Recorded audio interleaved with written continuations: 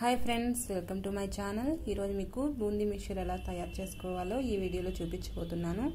చాలా టేస్టీగా ఈజీగా చేసుకోవచ్చండి. ఇంట్లోనే మీరు ఒకసారి ట్రై చేయండి. దానికోసం ఒక కప్పు నేను శనగపిండిని తీసుకున్నాను. అందులో ఒక టేబుల్ స్పూను రెడ్ చిల్లీ పౌడర్ని యాడ్ చేశాను. సాల్ట్ని కూడా మీ టేస్ట్కి తగినంత యాడ్ చేసుకోవాలి. కొంచెం వంట సోడాని కూడా యాడ్ చేసి ఇలా బాగా మిక్స్ చేసుకోండి మొత్తాన్ని కూడా. ఇలా మొత్తం మిక్స్ చేసుకోవాలండి. ఇందులోకి కొద్ది కొద్దిగా వాటర్ని యాడ్ చేసుకోవాలి. ఇలా కొద్ది కొద్దిగా వాటర్ని యాడ్ చేసుకుంటూ మనం బజ్జీ పిండిని మిక్స్ చేసుకుంటాం కదా అలాగా బాగా మిక్స్ చేసుకోవాలి.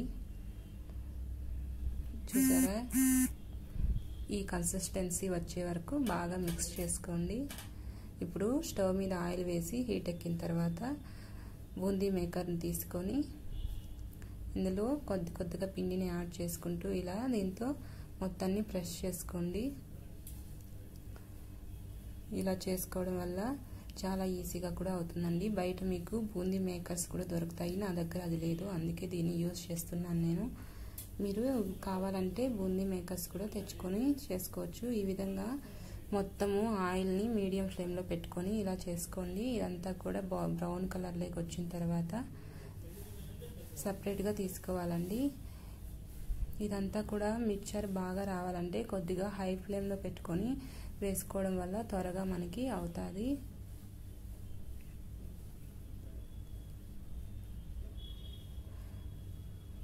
చూసారా? కలర్ అంతా కూడా చేంజ్ అయింది. చూసారు చాలా చక్కగా కూడా రెడీ అయిపోయినాయండి.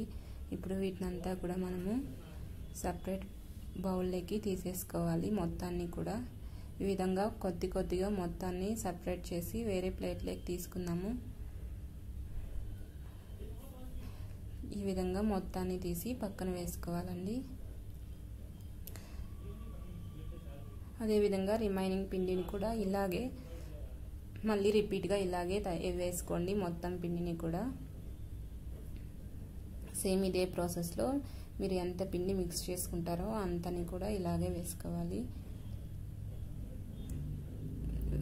వేరుశనగ గింజలను తీసుకొని ఇలా ఆయిల్లో వేసుకొని బాగా ఫ్రై చేసుకోవాలి. ఇలా బాగా ఫ్రై చేసుకోవాలండి. ఇవి వేయడం వల్ల చాలా టేస్ట్ అనేది వస్తుంది మనకి బూందీ మిక్చర్కి. చూసారా?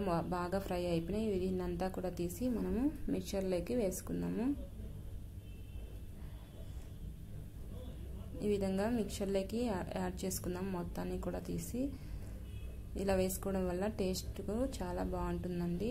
అదేవిధంగా వెల్లుల్లి రెమ్మలు తీసుకొని దాన్ని కూడా ఆయిల్లో బాగా ఫ్రై చేసుకోవాలండి. వెల్లుల్లి రెమ్మలు అనేది మీకు కావాలంటే యాడ్ చేసుకోవచ్చు. లేదా లేదు ఈ విధంగా బాగా ఫ్రై చేసుకొని దీన్ని కూడా బూందీ మిక్చర్లోకి మిక్స్ చేసుకోవాలి.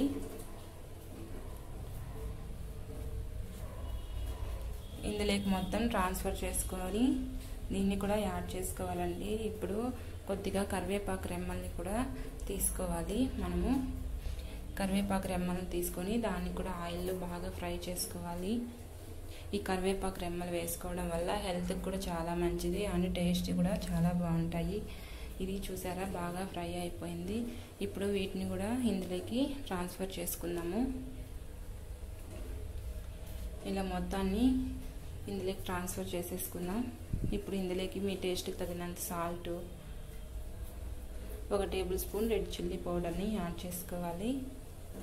యాడ్ చేసుకొని ఇదంతా కూడా మీకు కార స్పైసీగా కావాలంటే ఇంకా కూడా యాడ్ చేసుకోవచ్చండి. ఇదంతా కూడా బాగా మిక్స్ చేసుకోండి. మొత్తము మిక్స్ అయ్యేలాగా బాగా కలుపుకోవాలి.